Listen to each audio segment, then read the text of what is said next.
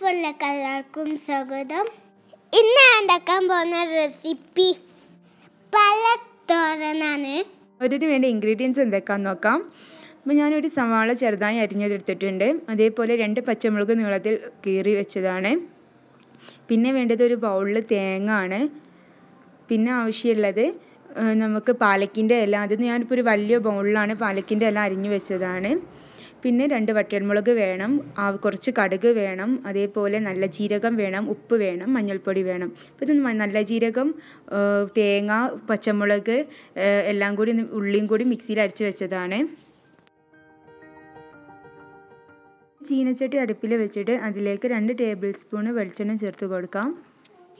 ഇപ്പോൾ വെളിച്ചെണ്ണ ഒന്ന് ജസ്റ്റ് ചൂടായി വരുമ്പോൾ തന്നെ നമുക്ക് എടുത്ത് വെച്ച കടുക് അതൊരു ടീസ്പൂണോളം കടുകാണ് എടുത്ത് വെച്ചത്. അപ്പോൾ ആ കടുക് ഇതിലേക്ക് ചേർത്ത് കൊടുക്കാം. കടുക് ഒന്ന് പൊട്ടി വരുമ്പോൾ തന്നെ നമ്മൾ എടുത്ത് വെച്ച രണ്ട് വറ്റൽമുളകാണ് എടുത്ത് വെച്ചത്. ആ വറ്റൽമുളക് കൈക്കൊണ്ടൊന്ന് മുറിച്ചിട്ട് അതിലേക്ക് ചേർത്ത് കൊടുക്കാം.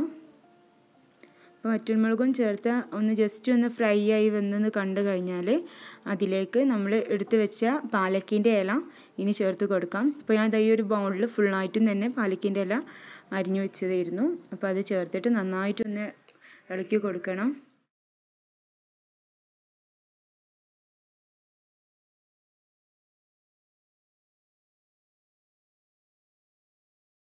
ഇനി നമുക്ക് ഇതിലേക്ക് ആവശ്യത്തിനുള്ള ഉപ്പ് ചേർത്ത് കൊടുക്കാം. അപ്പോൾ ഉപ്പ് ചേർത്തിട്ട് നന്നായിട്ടൊന്ന് മിക്സ് ആക്കി കൊടുക്കണം. അപ്പോൾ അതിന് ശേഷം ഇതിലേക്ക് നമ്മൾ നമ്മൾ അരിച്ച് വെച്ച തേങ്ങ അതേപോലെ സവാള പച്ചമുളക് നല്ല ജീരകം കൂടിയുള്ള ആ ഒരു കൂട്ട് ഇതിലേക്ക് ചേർത്ത് കൊടുക്കാം. അതും കൂടി ചേർത്ത് കൊടുത്തിട്ട് നമുക്ക് നന്നായിട്ടൊന്ന് ഇളക്കിയെടുക്കണം.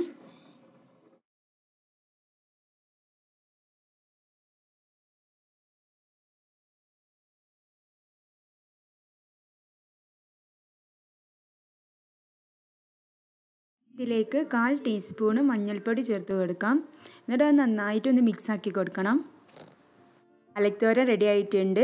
ഇനി ഇതൊരു സെർവിങ് പ്ലേറ്റിലേക്ക് മാറ്റാം.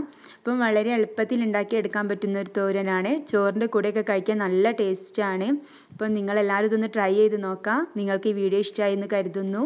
താങ്ക്